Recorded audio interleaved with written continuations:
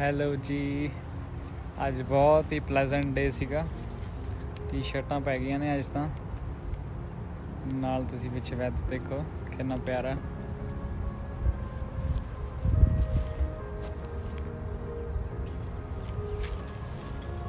Sunset ਦੇਖ ਕੇ ਅੱਜ ਤਾਂ ਮਜ਼ਾ ਆ ਗਿਆ। ਤੇ ਸਪ੍ਰਿੰਗ ਸਟਾਰਟ ਹੋ ਗਈ ਆ। ਤੇ ਫਲਾਵਰਸ ਵੀ ਬੜੇ ਸੋਹਣੇ ਸੋਹਣੇ ਕਲਰ ਦੇ ਨਿਕਲੇ ਹੋਏ ਨੇ।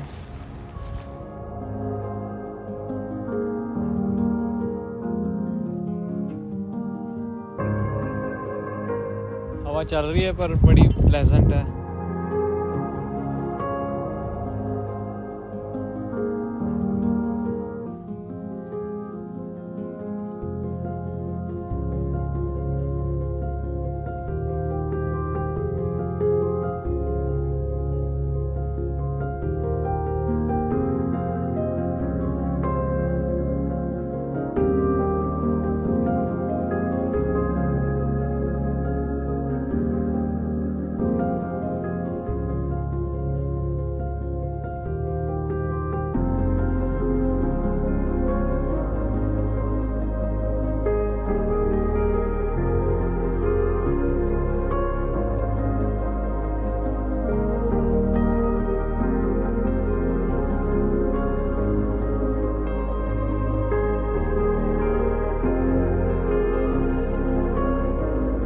ਇਹ ਵੀਡੀਓ ਨੂੰ ਇੱਥੇ ਤੱਕ ਦੇਖਣ ਲਈ ਬਹੁਤ ਬਹੁਤ ਧੰਨਵਾਦ ਤੇ ਐਵੇਂ ਦੇ ਹੋਰ ਵੀਡੀਓਜ਼ ਦੇਖਣ ਲਈ, ਮੈਨੂੰ ਮੋਟੀਵੇਟ ਕਰਨ ਲਈ ਕਿ ਮੈਂ ਐਵੇਂ ਦੇ ਵੀਡੀਓਜ਼ ਬਣਾਉਂਦਾ ਰਵਾਂ।